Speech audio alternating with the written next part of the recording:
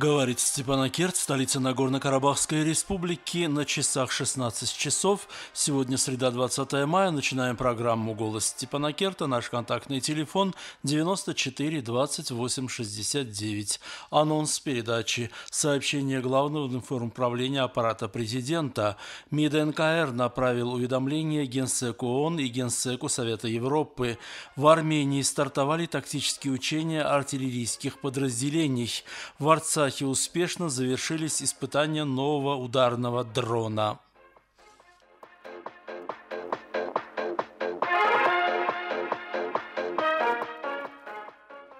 Итак, подробности новостного блока. Вчера президент НКР Баку Саакян подписал ряд законов Республики Арцах, в том числе о публичном и индивидуальном оповещении через интернет и об общественных организациях. На завтрашней церемонии инаугурации новоизбранного президента Республики Арцах Райка Арутюняна будет присутствовать премьер-министр Армении Никол Пашинян. Об этом сообщили в Управлении информации и по связям с общественностью аппарата премьера Армении. Церемония инаугурации начнется в 18 часов 21 мая в городе Шуши. Министерство иностранных дел НКР направило уведомление генеральному секретарю ООН Антонио Гутеррешу и генеральному секретарю Совета Европы Марии Пейчинович-Бурич о принятии Арцахом временных правовых мер, предусмотренных соответствующими международными договорами вследствие введения в стране чрезвычайной ситуации из-за угрозы коронавируса нового типа COVID-19. В уведомлениях отмечается, что Арцах обязуется информировать Генсек ООН и Генсека Совета Европы о введенных ею правовых мерах в период чрезвычайной ситуации, а также сообщить о дате прекращения действия данных мер. Республика Арцах присоединилась в одностороннем порядке к Международному пакту о гражданских и политических правах в 1992 году и к Европейской конвенции по правам человека в 2015 году. Министр иностранных дел Армении Зограб Нацаканян вчера провел видеоконференцию с председателями Минской группы ОБСЕ Игорем Поповым России, Стефаном Висконти Франция, Эндрю Шафером США, а также личным представителем действующего председателя ОБСЕ Анджем Каспшиком. Нацаканян и сопредседатели Минской группы обменялись мнениями о региональных развитиях после последней видеоконференции. Глава МИД Армении подчеркнул важность постоянных контактов с сопредседателями Минской группы в условиях пандемии. Собеседники также рассмотрели перспективы визитов сопредседателей в регион и проведения совещаний на уровне министров после снятия ограничений, введенных из-за эпидемии коронавируса.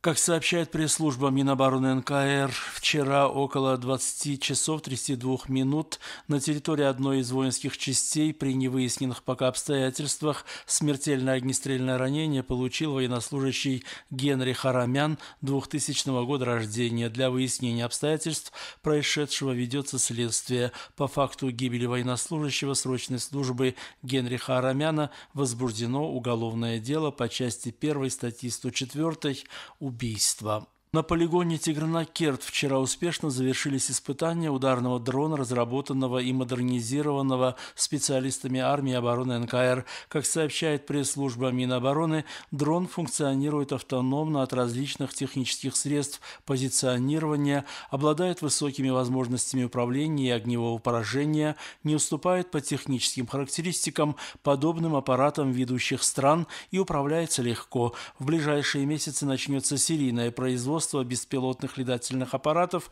они займут свое полноценное место в оборонной системе Арцаха. За испытаниями следил министр обороны НКР, командующий армией обороны генерал-майор Джалал Арутюнян. На общевойсковом полигоне имени маршала Баграмяна в Армении вчера начались тактические учения артиллерийских подразделений с применением оперативно-тактических средств и реактивных систем залпового огня «Смерч». Об этом сообщили в пресс-службе Минобороны Армении. Цель учений – подготовка и ведение боевых действий артиллерийской бригады в оборонительной операции, проверка возможностей командиров личного состава и штабов по приведению в высокую боевую готовность подразделений населения, совершенствование практических навыков солдат и умение работать в полевых условиях. На первом этапе к районам сосредоточения стянуты вооружение и военная техника, а на заключительном этапе трехдневных учений запланирована боевая стрельба. В Арцахе выявлен новый случай заражения коронавирусной инфекцией. Об этом сообщило Министерство здравоохранения НКР. Отметим, что ранее 27 образцов были отправлены в Армению для тестирования на COVID-19. Один из тестов оказался положительным. Инфицированный гражданин помещен на изоляцию. В настоящее время в Арцахе подтверждены 29 случаев COVID-19, 8 человек излечились. По положению на 11 часов 20 мая в Армении подтвержден 5271 случай коронавирусной болезни, из которых 2419 выздоровевшие, 67 со смертельным исходом. Таким образом, за сутки имеются 230 новых случаев заражения коронавирусом и 255 выздоровевших. Международный валютный фонд 18 мая принял решение допустить немедленное выделение Армении 280 миллионов долларов США. В заявлении ведомства отмечается, что экстренный кредит поможет властям сдерживать краткосрочные риски и предоставит ресурсы для решения неотложных гуманитарных и экономических последствий пандемии COVID-19. По мнению специалистов фонда, текущая ситуация нарушила темпы экономического роста Армении и благоприятные экономические условия. Также отмечается, что финансирование поможет сохранить макроэкономическую стабильность республики. Американская биотехнологическая компания Moderna, основанная американским предпринимателем, инженером-технологом армянского происхождения Нубаром Афияном, сообщила о первых успехах тестирования созданной компанией вакцины от коронавируса. Результаты испытаний показали способность вакцины вырабатывать антитела к коронавирусу. Испытание было проведено Национальным институтом здравоохранения США. В нем приняли участие 45 пациентов. Также в ходе тестирования было установлено, что вакцина в целом безопасна, легко переносится. В Модерна отметили, что новая стадия исследований должна начаться в июле. В случае успеха последующих стадий испытания вакцина может быть использована в экстренных случаях уже этой осенью, однако компания пока не может точно сказать, способна ли их вакцина предотвратить пандемию нового вида коронавируса. Послушайте материал, подготовленный Карине Мусейлян.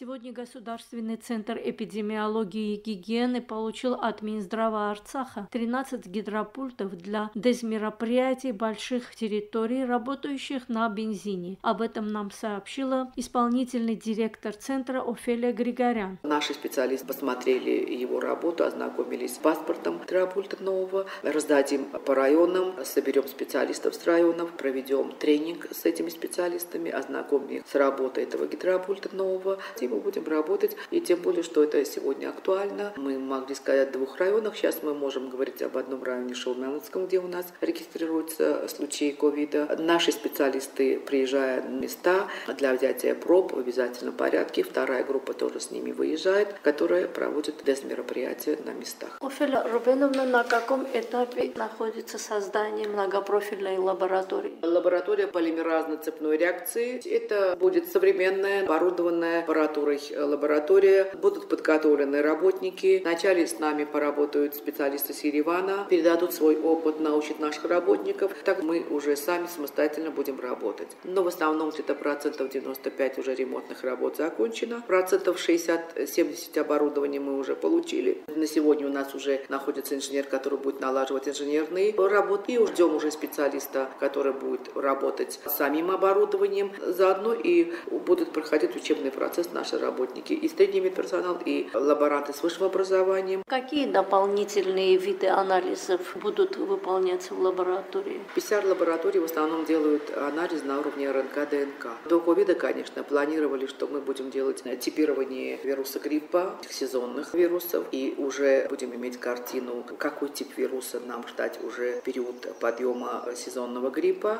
Далее мы планировали проводить анализы гепатиту С, гепатиту Б. У нас будут будут проводиться еще анализы на гриппоподобные вирусы типа аденовирус, реновирус, парагрипп. И планировали ряд PCR-анализов проводить для выявления бактериологических уже исследований. А, связанные с COVID. И сейчас у нас, конечно, в первую очередь встает вопрос внедрения лабораторной работы по выявлению ковида. Работы по открытию многопрофильной лаборатории находятся на стадии завершения. Они были начаты два года назад. С открытием лаборатории полимеразно-цепной реакции тесты на COVID-19 и ряд других анализов уже будут проводиться в Степанакерти и не будет необходимости переправлять их в Армению. По сообщению исполнительного директора Центра эпидситуация по другим вирусам в Арцахе спокойная. За последние годы самый хороший показатель. Это дает возможность акцентировать внимание на выявлении и лечении коронавирусной инфекции COVID-19, которая в Арцахе проходит в легкой и среднелегкой форме. И завершает нашу передачу информация о погоде в четверг, 21 мая. На территории НКР ожидается переменная облачность, погода без осадков, ветер юго-западный 3,8 метров в секунду. Термометры покажут ночью плюс 12-18 тепла, днем 25-37 градусов выше нуля.